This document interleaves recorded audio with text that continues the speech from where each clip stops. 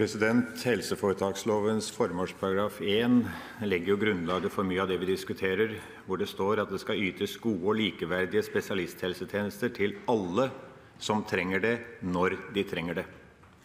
Det som er folks erfaring, president, det er at regjeringa fører en politikk hvor en går vekk systematisk ifra formålsparagrafens likeverdighet gjennom sin sentralisering.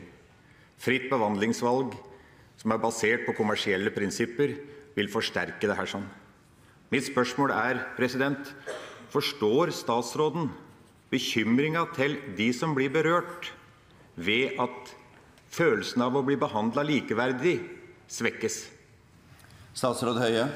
President, eh, Jeg er uenig med representantens eh, fremstilling. Tvert imot, vi ser en oppbygging av desentraliserte helsetjenester under denne regjeringen.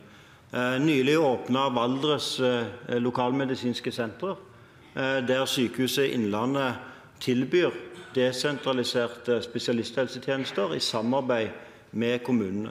Der kommunene har gått sammen om å etablere felles og kommunale tilbud for å forsterke tilbudet. Denne utviklingen ser vi over hele landet. Det er veldig bra.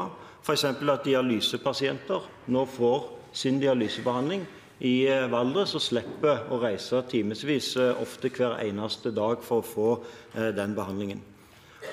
Fritt behandlingsvalg-reformen er ingen sentraliseringsreform. Det er den ytterste desentraliseringen en kan tenke seg. Vi flytter makt fra systemet til den enkelte pasient.